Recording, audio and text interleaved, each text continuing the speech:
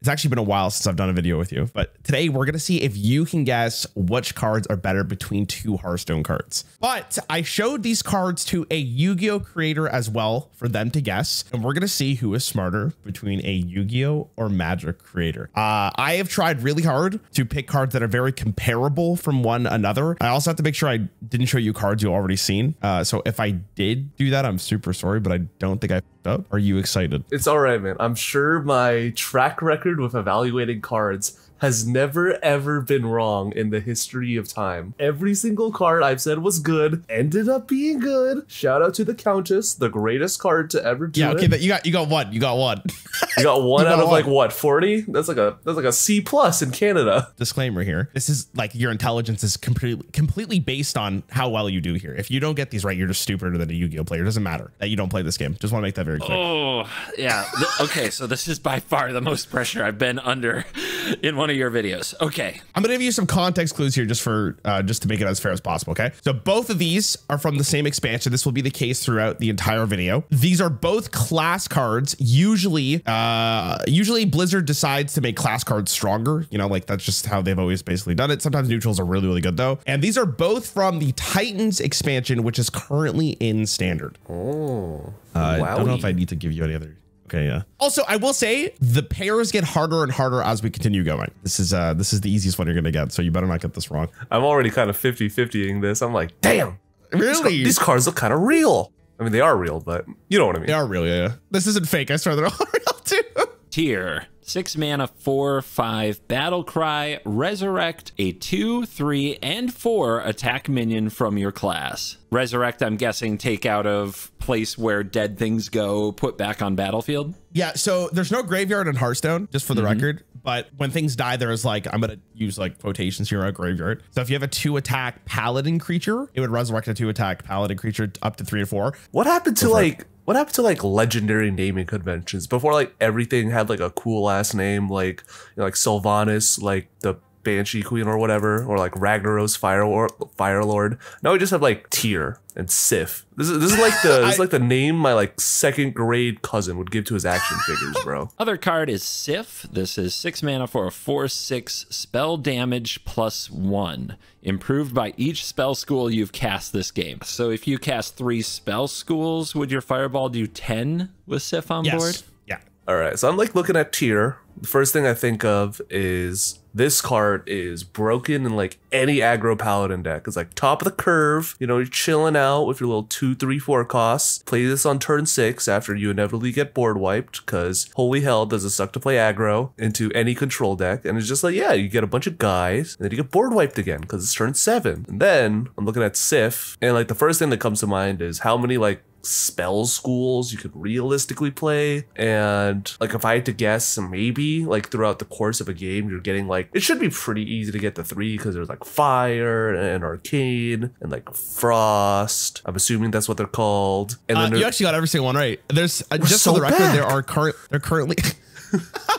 there are currently, I believe, seven. Hold on, let me actually Oh my double check how many God. there are. Yeah, there's seven. There are there are currently seven spell schools in the game. what are like the other four like i could I, like Uh, one of them's fell one of them's like Yeah. shadow like, what, what are the other two like You're- fish and chips Holy like nature. shit man Fish and chips. The holy in nature. Oh, nature's in a fucking school. That's some Nature is a school. Wait, That's is it? No, it is. Yeah, it is. It is. Why am I second? I'm really looking at the fucking list. That's some community college looking ass spell school, dude. What is it, mage? So I guess like you're capping out at like what four? Oh, like at the absolute best. Shadow wizards. The generic context that mi- that's missing is how like how much does do things cost that deal spell damage versus are there good two, three, and four attack minions in both cases? I don't think it really matters. I, I think that Tyr's the better card. I don't think it's very close. The ability to bring these back, plus in Hearthstone, you have a good amount of control about when your small minions die. You can just ram them into a bigger minion, and then you play this and you get like multiple things back. Maybe it's Sif. I was like looking at this and I'm like, but damn, Tyr's so easy to use. You just slap him down on turn six and then you lose anyways because you're playing Aggro Paladin. I'm gonna I'm gonna say Sif. I mean, there's got to be like dumbass combos, right? Okay, so so in this case, you were entirely correct. Sif is way better than Tyr. I'm going with Tyr. I don't think it's close. Unfortunately, you are wrong. Uh, what? no way! No, they get harder from the. Oh my god, no way. If it was two, three, four cost minions, I think this card would be really good. But the potential with this card was with a package that basically resummoned. Uh, I'm gonna call them Jade Golems if you know what those are. But it never really came to fruition for Tyr because you didn't really need it. There's just a spell that does what he does, but arguably just better. Sif, on the other hand, for six mana, you can make a Malygos. And you remember Malygos from Oh Classic? god, don't don't remind Uh, me. So you could actually get to a pretty big spell damage total eh, like very quickly. Now, here's the biggest thing I think that maybe you're focusing on as a magic player is you could block with those minions. Remember like Hearthstone can't block with those minions? I remember that Hearthstone can't block. I just thought that you know they like minions like double like as like removal in Hearthstone. You take out the opponent's board, so It's just that you think even- that. I feel like in Magic they would double down more as like removal, right? Because you can actually block with them. People just people just look at their your mini and go like, huh, uh, whatever, and then go face, right? Ha, well, So- that's how I feel right now. Okay, number two. Both of these are from Festival of Legends. This is the expansion before Titans. One of these is a legendary spell. The other one is not. They're both currently in standard. What are these cards? Black Rock and Roll, five mana, give all minions in your deck attack and health equal to their cost. If it were a five cost minion, it takes that and adds it to the attack, the current attack, and the current Yes. health. Yes. oh, it adds the one one. Wow. Yeah. What was that card? Like Silverhand Knight that like summoned a, the 4 4 to summon a 2 2? Oh my god, now it's a Yeah. 9 9 that summons a 2 2. That's crazy. You're, a, you're literally value. a Hearthstone boomer, bro. That card wasn't even playable in Classic. Look, man, that, that that shit was the goat of Arena. Uh, okay, yeah, fair enough. It was it was good in arena. Was it good? I, you know what? I don't even remember. It was like so, Arena it was like so mid, but we had nothing better. I'm not even joking. If they brought back Classic Arena, I'm going 12-0 like my life depends on it. It's not even a question. I'm, I'm like the Michael Jor- I'm like the Michael Jordan of Classic Arena. And Big Dreams, five mana, summon the highest cost beast from your hand. It goes dormant for two turns. Like I read I read Big Dreams and I'm like, damn, why don't I just play a good card? Sure, you could put like a big guy onto the board, but you have to wait two whole turns. Or at least like Black Rock and Roll. You you kind of just play this card, you thug out for a couple turns, and then you're just drawing like the infinite value machine. You're dropping like three two leper gnomes. That's crazy.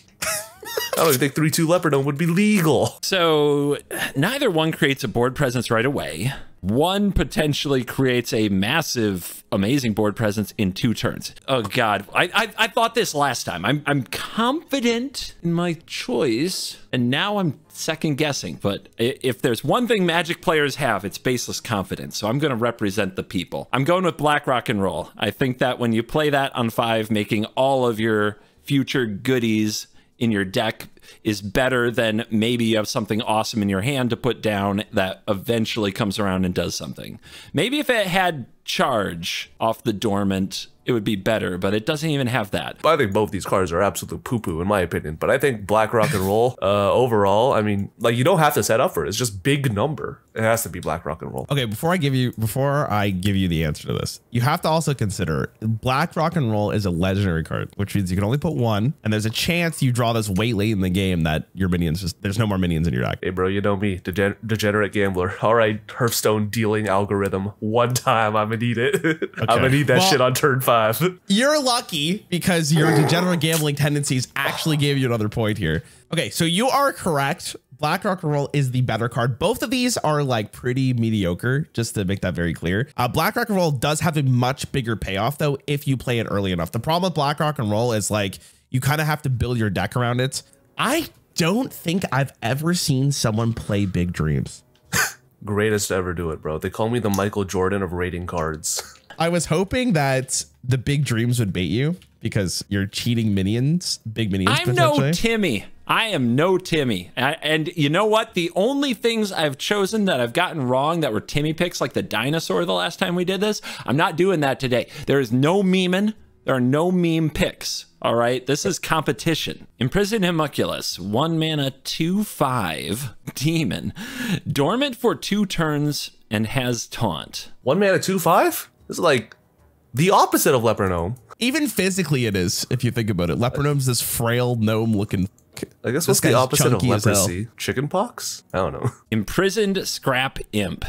two mana, three three mech demon, dormant for two turns. When this awakens, give all minions in your hand plus two plus two. Ugh. Ugh. Okay. Imprison Homunculus, dormant for two turns, one mana, two five taunt. All right, first impressions. This is like, I guess if you played this like turn one, kind of chill out. It's like a better Silverback Patriarch. It's like a three mana, two five. That's crazy. It is way better than Silverback Patriarch if you play this on turn one. This card looks card- like if you if you drop this turn one, you are the tr- you are simply just better. You're the go. It feels like the whole dormant mechanic is like it very it really needs to be played on curve. Unless there's some way to do it. These look like such horrible top decks in the mid to late game. They they are they are. oh my god. Like that's why I probably couldn't play this. So my first thought, it makes one mana much better than two. Like in Magic, one of the growing pains is for players to realize that like one mana versus two mana is double the cost. It, it, it's like such a big deal in the early game to have the right one drop versus the okay-ish or almost does the same thing two drop. Obviously, the two mana one has a much flashier effect, much much higher potential, right? Imprison Scrap Imp, dormant for two turns. When this awakens, give all minions in your hand plus two plus two. It's a Mecha's Demon. So it's got pretty good stats. Two mana, three, three. If it had like plus one, plus one, it'd have like the worst downside in human history. Let me get a shout out to Millhouse. Two, two is a lot. Like if you have like one minion, turns it into like, this is basically a five, five. You have two, it's a seven, seven. Four mana, seven, seven. Hold up. Hear me out. Hold on. What if it had overload too? You put this shit into like classic Hearthstone like 10 years ago? Oh my god. Imprison Homunculus, FTK card. I'm seeing my opponent concede turn one. I hate it because 100% if I was doing a top 10 list for a set and I was looking at these two, the Imprisoned Scrap Imp would go on the list. Not close. Like like that's content, right? But when it uh-huh. comes to the game, when it comes to the game, I'm playing meta. I'm going Imprisoned Homunculus. I'm going with the one drop. These are both just so good. Do I want a monkey or do I want like a flame, a fiery flameless? You know what? I'm a gambler. I'm gonna say the Scrap Imp. It had to have been good. It had to have been better. Like Homunculus is good. Don't get me wrong. But like Scrap Imp is the go to value. Yeah, uh, you're entirely right. Oh, let's Uh, fucking go, baby. okay, unfortunately you're wrong. Uh, Uh, Okay. I, I, I, I accept. I accept. okay, so homunculus is really good if you got to play it on turn one. Even turn two, I think you can let it slide. Turn three is when we get a little bit sketch. But obviously, the later in the game for both of these, the worse they get. But the Yeah. biggest thing thing about Scrap Imp is like you don't really care that it's two turns later because you play into it. Like you you draw more cards, you get more minions, and then they all get buffed. These are from Showdown in the Badlands. This is literally the expansion that came out before the current one, and that means that these cards were released in an ex- in a standard rotation with the most amount of cards possible. All right, let's let's take a look. Elise Badlands Savior. Battlecry. If your deck has no duplicates, summon 5 5 copies of 4 random minions in your deck. Rheastrasza is 8 mana, 8 8 dragon with Battlecry. If your deck has no duplicates, summon the Purified Dragon Nest. The Purified Dragon Nest. At the start of your turn, discover a dragon. It costs 4 less. All right, so this is an 8 mana 2020 with 4 death rattles. You can't convince me otherwise. I mean, 8 mana 2020. It's, it's so good. you're right. You're so right. It's 4 mana 2020. So one of these hits the battlefield, and then, assuming your deck has no duplicates, which I assume you build around, creates a whole board of five fives. The other is an 8 8 that summons a nasty thing that takes up a spot on your board, has no power and toughness. And at the start of your next turn, you discover a dragon that's cheaper. Yeah. Now, I don't know if the Badlands contains 10 different dragons that they'd hide in this nest that all say, I win the game now. That is context I do not have. Discovering a dragon, just like a random ass dragon, gets like exponentially worse because theoretically there are a lot of more poo poo dragons. On the other hand, Yes. If there are if there are a lot of good dragons, what if we just hit them? What if we just hit the Malygos? What if we Malygos just hit them? Yes. What if we just bink Yes. it, baby? What if we hit another Rheastrasza? Wait, can you Uh, do that? That was allowed. I think they changed it so you can't anymore. Uh, Damn. They took it away. Damn, Hearthstone really killed But our fun, bro. This one seems straightforward. It really does. 25 power and toughness. A whole board in a box versus a nest that gets you something that you still have to cast next turn. What was it? It was like the Alexstrasza, like Queen summoning, like Yes. like searching the bring Alexstrasza. again. You just got a scam, baby. Yeah, 100%. That's what Hearthstone is, right? It's a Scam City. scam. That's what Yu-Gi-Oh is. All card games lead to scamming. That's basically what I learned here today. It's like this. It's like the it's like the the curve of like a card game's development, where it's like, haha, we will have fun based resource systems. Into wait, what the fuck are they doing? Turn five. Why is he dead? Did you Okay, uh David, when you edit this video, go go look at Day 9. I don't know, you know who Day 9 is, right? Remember him from Yeah, he was yeah. like an old so he played Hearthstone again for the first time in years yesterday. And Oh, God. watching his reaction to like genuine gameplay in current Hearthstone was fucking hilarious, dude.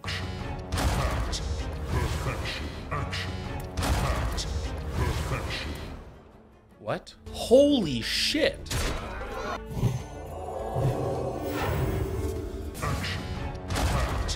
What? Holy shit, what happened in this fucking game? It's turn five? It's the fifth turn of the game?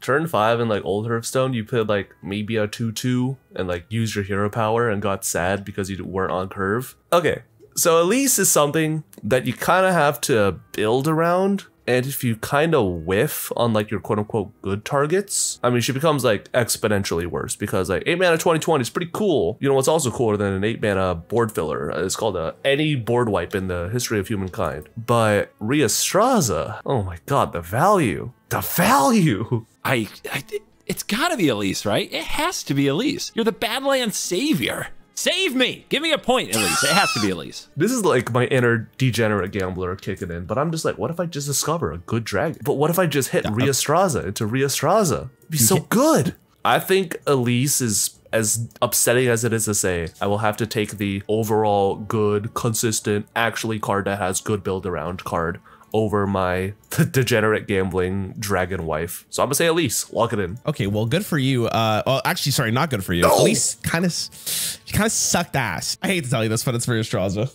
How? How is this possible? Okay, let me explain. Let me explain. I told you that Druid is closest to green, right? Druid has ramp, which was a really big deal because before your opponent can even like really start pressuring you, you could probably get Rheastrasza open or open on the board. And then you start playing these cheaper dragons. And some of them, again, like they're pretty impactful without you really knowing what they are. Elise is in a Highlander deck where you have to basically hope you draw this on turn eight. Otherwise, the card just gets worse and worse and worse because there's only so many minions that you would want to summon from your deck that are four that are five five copies of it. You actually said it earlier, which was like any board clear just kind of answers this. And that's basically what it inevitably came down to for Elise. Rheastrasza in a six expansion standard set was very good. Okay. Worst I- day of my life. Uh, you sure you don't want the point for scrap him? Yeah, I'm sure. Okay. I'm sure. Both of these cards are eight mana, obviously. One is for Warrior, one is for Demon Hunter.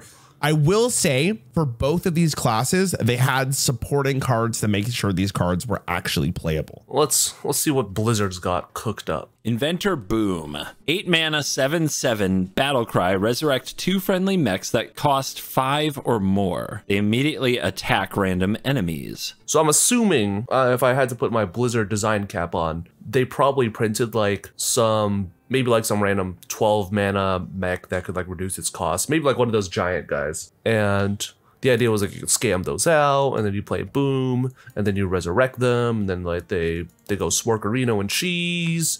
That could be cool. Maybe you're getting like 10 to 15 damage out of boom and it's kind of random so not a huge fan of that off the rip and then we got like megatron unreleased dormant for two turns while dormant deal three damage to all enemies at the end of your turn there's a mech and a demon Huh. I imagine the effect of having this go dormant on the opponent's turn is pretty frustrating because anything they play is gonna take three. I bet that's a very interesting moment for them. Good way of putting it. Of course, all right adventure boom i just kind of read it as like you know just deal some random damage and even if you can get like some big ass guys into play but what if those big ass guys are good it's like elise and elise has to have been good right when you're just playing this and you don't get anything back, or you get one thing back that isn't very strong, and they immediately attack something you didn't want them to attack, that can't feel good because it is random. Don't get to punch what you need to punch. Punching is good, but random? Random is sus. Mega Megatherodon, it kind of just, you're basically, like, even if you cheated out, let's say, like, you played this guy turn six, you're basically spending, like, six mana to, like, flame strike your opponent twice. Like, like, that's kind of like a weird comparison, but you're kind Oh, of I get you. just, Sure. you're kind of just summoning a big vanilla, which, you know, isn't bad in its own right. And we had, uh, the Megasaur, the Ultrasaur. And that guy kind of thugged it out in Arena. Tw- uh, but just like a 12 12, even though that is like big boy stats, you're not really getting anything out of it outside of like the world's worst board clear. I'm gonna say Boom. I I think Boom's kind of bussing. Man, I can't get past that feeling of the opponent going to take their turn and just being like, these are all going to take three more damage. What's the point of my life? That is, mmm, that, like, the times where I've been on that side, like if I were on the other side of this card and I looked down and just saw all of my minions, anything I played this turn or summoned was going to have three less health, and I just like, ugh, and I just want to pass. Every time I've been in that position, it's meant that the other card did something really powerful. And sometimes it's a silver bullet. Sometimes they just caught it, caught you at the right time. But oh my gosh, I think Megatheriodon. uh, is I think it's Megatherodon. I'll take the Mech Demon. Okay, so you're actually right. Um, which I will say, uh, like me in particular, when I first saw Megatherodon, I thought it was going to be awful. Uh, but unfortunately, Inventor Boom actually is not good. What? It's weird. It's weird because there is potential for this card. They printed actually some pretty decent mechs, but Magtheridon, shockingly, because most people had the same reaction as you. Like it looks so bad, but for some reason it's kind of goaded. Uh, there's also cards that cheat it out, so you can get it for six mana with a weapon. Also, this goes face. So it is kind of relevant with uh, with Demon Hunter's game plan. At the current moment we were recording this video, Magtheridon is a better card. Damn, bro. Hearthstone Hearthstone players really are just gambling degenerates. By God's will, we will simply is- discover Magtherion. I'll tell you this right now. I haven't seen Inventor Boom once. I don't even know if the card exists, to be honest, in the game. I haven't seen it. Ah, fake card. Uh, these are from Scholomance Academy. This is the expansion after Demon Hunter, and they're both neutral. And this expansion came out in 2020. Headmaster Kel'Thuzad. Spellburst. If the spell destroys any minions, summon them. Wait, was Kel'Thuzad was Kel'Thuzad like a real ass dude? Yeah, he's a real dude. He actually has like a whole story behind him. Um, Damn. Scholomance, Ac- Academy is like his school. Damn, he really graded so many shit papers. He decided to become an evil He witch, just- huh? Uh, I tar- I use like fireball targeting a spider tank. If it destroys the spider tank, I get to summon the spider tank, right? Yes, yes, uh, yes. I like Okay. how you go with Spider Tank. Like that's the fucking dream. Dude, spider tank the goat.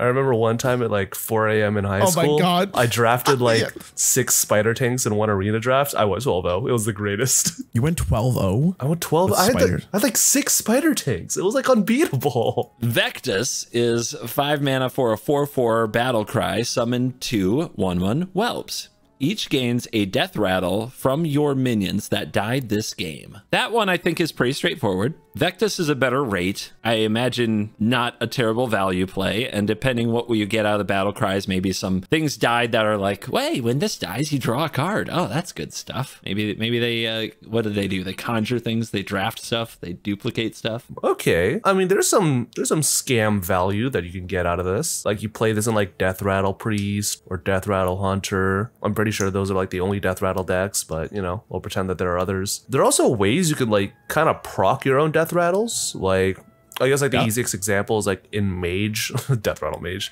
Uh I guess like theoretically if you have a way to like ping your own whelps you can, you know, just immediately trigger and get like some immediate scam. That's pretty cool. Kel'Thuzad seems kind of he's cool, but seems kind of he's kind of a lot.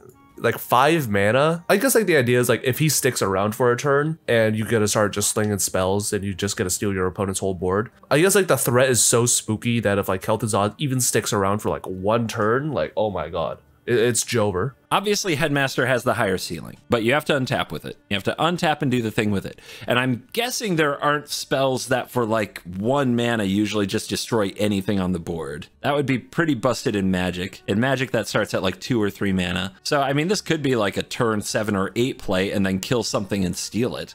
And that is pretty cool. I, I just see s- I just see so much more immediate threat when it comes to Vectus. Uh, rather than like Kel'Thuzad, where you kind of have to play him and find some sort of either like mass board wipe or single target removal for a card that's even worth stealing in the first place. Because if you're just stealing a bunch of weenies, then like what's the point? Uh, so I'm gonna say I'm gonna say Vectus. Uh, he's he's my guy. We got the rate versus the ceiling. Fine. Ah, God, I'm gonna regret it either way because I could see it going either way. Uh, give me the headmaster.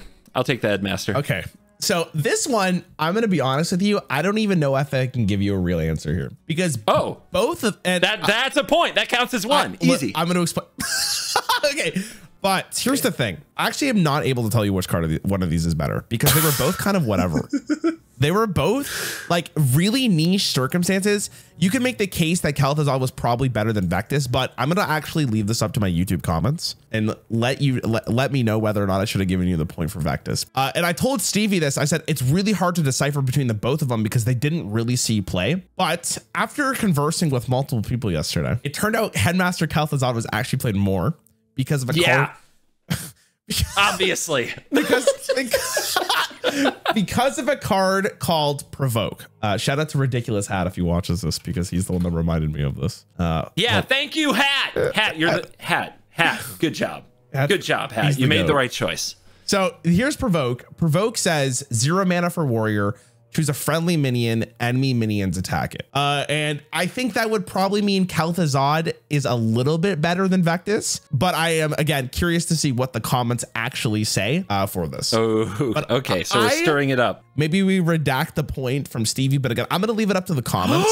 he picked the other one. I'm gonna leave it up to the comments for which one Redact. You must redact. You must obey the hat. It can't be both. There can only be one. These are both quests. Were you playing during Un'Goro? Uh, yeah, I played a little bit. Un'Goro introduced quests. The quests do start in your hand. They brought them back in an expansion called Saviors of Uldum, and every single class got one for the time. This time, rather than getting like a reward, they replaced your hero power with a different one. And I'll show you. I'll give you the order for both of these. Maybe the Mage Hero power does two damage now. Raid the Sky Temple. Cast 10 spells, reward Ascendant Scroll, and a random mage spell to your hand. It costs two less. All right, we're, we're gambling. Already off to a good start. Unseal the Vault. One mana quest. Summon 20 minions. The reward is a Pharaoh's War Mask. And Pharaoh's War Mask is a new hero power. Yeah, see, I'm learning. you Give go. your minions plus two attack. This is where my my anti-minionness, you know, my anti-aggro, anti like swarm with creatures side is coming out because I immediately look at that and I'm like, that's win more, you know? Fair enough. it seems like it's win more. He summoned 20. They couldn't get the job done. Oh, the attack is like permanent. That's pretty cool. It's not awful. Uh, okay. So Sky Temple, Mage, slinging spells, Shadow Wizard, Money Gang. We're we're we're, we're reading scrolls up in here. You know what I'm saying? It's gotta be it's gotta be at Sure, least yeah. like somewhat playable in like any spell slinger mage. Second one, Unsealed Vault, 20 minions. You're obviously playing some sort of zoo deck, or you're playing some sort of deck where, you know, you have a lot of like Unleash the Hound type effects where you're just able to kind of like scam like five minions into play at once and it sort of counts towards a quest. And but like War Mask is just so mid. like unless these dudes have charge, unless these dogs are barking, uh like two attack, it doesn't really it's, it's not all it's not that much damage. It's not it's not that cool. A random mage spell for cheaper.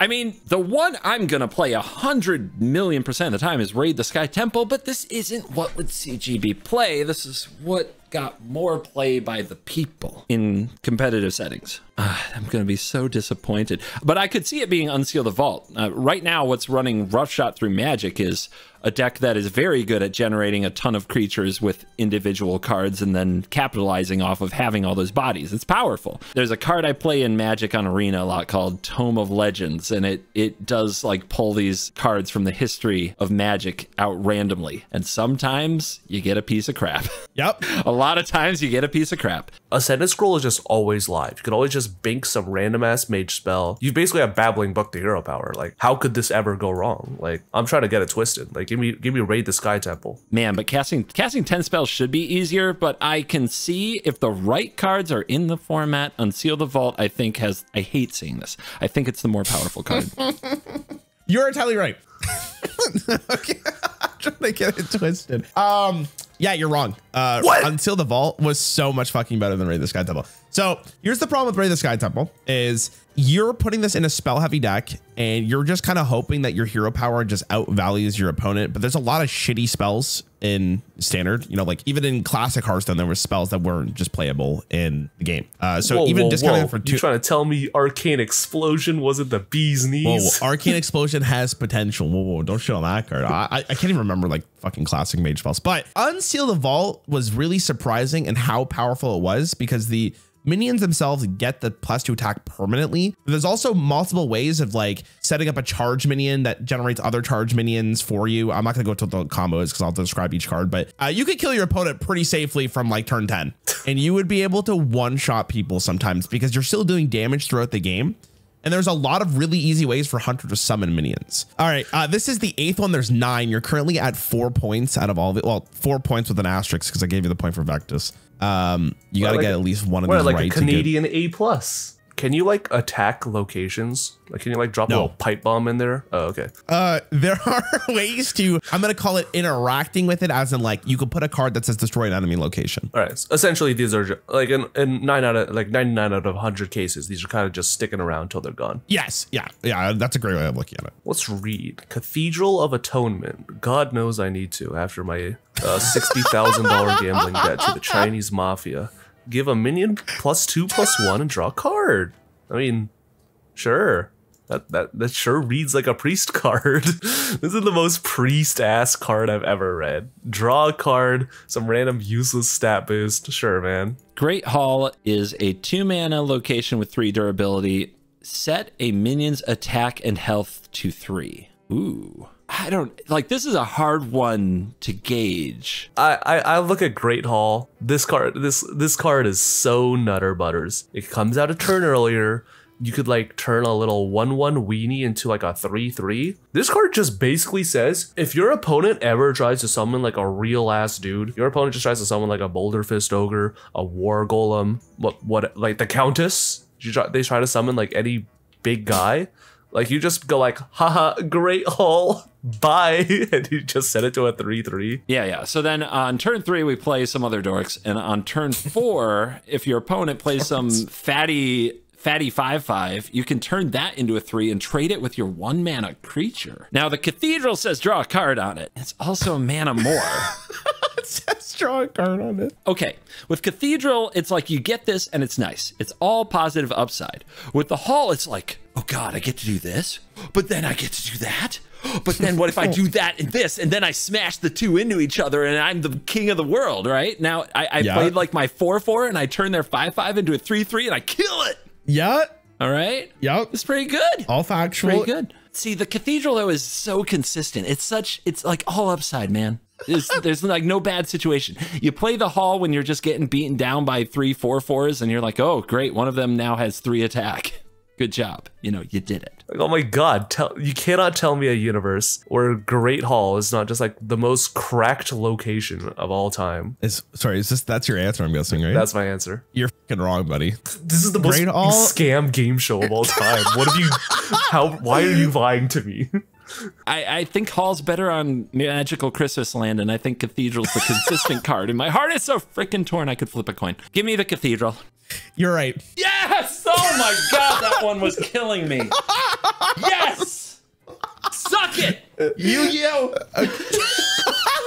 I specifically made these like pairs to try to like you know pull you in one direction or like both of them look really really good whatever etc right He's gaslighting great me. hall great hall i think was tried but i think a lot of the time it just wasn't very valuable because you don't really want to spend two mana to make a one one into like a three three cathedral of atonement was a staple in literally every priest deck well done We're on the comeback, baby. We're on the comeback. It's Well a done. rally. It's a full blown fucking rally. Um, both of these are from the current set as well. So four set rotation, and I don't think I really need to describe anything other than the Warlock one is a legendary spell. Wheel of Death. Oh, gambling. My my favorite.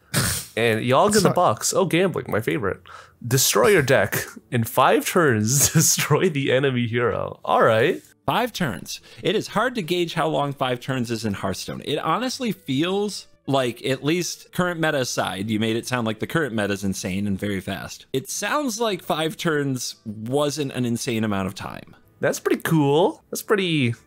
In a way, this card is actually good though, right? Like, in a way, right? Okay, well, let's read the other card. What if it's worse? Cast five random spells. If your deck has no minions, the spells cost five or more. Wowzers. I just made a mess in my trousers. Uh, so Five random spells could be pretty bad. Obviously, if you put this in your deck, you have to somehow have a way for your deck to have no minions. Like it, it could just be so terrible. They're not even five random spells that were cast this game. It's just in in the game of Hearthstone, right? Yes.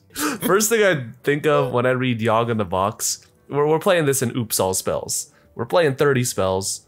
We're, we're oopsies all spells. We're chilling with Yogg. I mean, like this just has to be like the main, like this or like some other silly ass spell. Just has to be like the main win condition. It's probably like absolute horseshit. like try to, you cannot gaslight me into thinking five random spells that cost five or more is like an actively good meta strategy. But actually, but what if it is? What if we just get it twisted?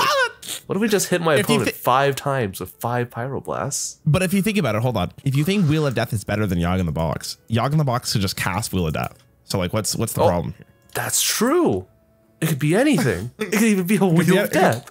Yeah, yeah, exactly. I mean, if you're playing like some sort of sociopath or warlock, it does make sense. Like some sort of deck where maybe you're setting up like just like infinite taunts. If you have like a way to make like those taunts immune forever, uh, I don't know. If you just have like this way to basically just give yourself infinite protection, like sure, I think like Wheel of Death. Also, you have to draw it, which is kind of sus. Uh, like Wheel of Death might be okay, but Yogg in the box, the value, the value. It's I- but there also are like a lot of super shitty five cost or more spells. Five random spells that cost five or more. What are the odds that one of those somehow wins you the game or does exactly what you need at that cost? And this one's a win con. Wheel of Death is a win con, and you can only have one of it. Let's spin the Wheel of Death. I'll take the Wheel of Death. What? Holy shit. I'm taking the Wheel of Death. okay. I think Wheel of Death is just way too slow. I think like sure there's probably some shitty funny cheese combo that uh is uh that probably exists with it where you could probably just give yourself infinite health and you just like, look at your opponent you're like haha nice game. Uh but I think like just there's so much more support and potential when it comes to like spell slinger mage or like spell slinger type decks that I think Yogg in the box is probably just the better card. I'm about to blow your fucking mind, bro. Wheel of Death is like tier one. You're fucking lying to me.